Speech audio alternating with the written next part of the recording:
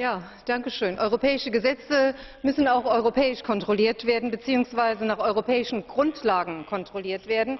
Und Kontrollen, meine Damen und Herren, sie müssen transparent und sie müssen auch verlässlich sein, damit sich die Produzenten, die verarbeitende und die weiterverarbeitende Wirtschaft, also auch die Verbraucher darauf verlassen können, dass Lebens- und Futtermittel unseren europäischen Standards entsprechen und dass sie gesund sind.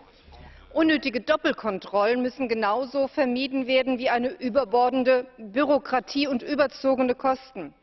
Das umfangreiche System der Cross-Compliance-Kontrollen im Rahmen der gemeinsamen Agrarpolitik muss anerkannt werden, und es darf keiner zusätzlichen Kostenpflicht oder gar zusätzlicher Kontrollen durch die Lebensmittelkontrollbehörde unterliegen. Und letztendlich die Finanzierung der Regelkontrollen durch Kostenerhebungen, sie widerspricht grundsätzlich dem Verursacherprinzip.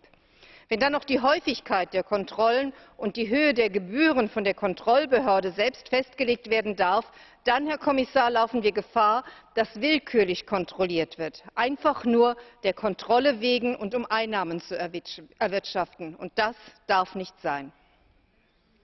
Madame Klaas, la parole est à Monsieur Picula. Hrana za ljude kao i hrana za životinje mora biti sigurna i zdrava. jedan od načina da se to postigne je funkcionalan sustav kontrole cijelog hranidbenog lanca i mjere zaštite zdravlja životinja i bilja.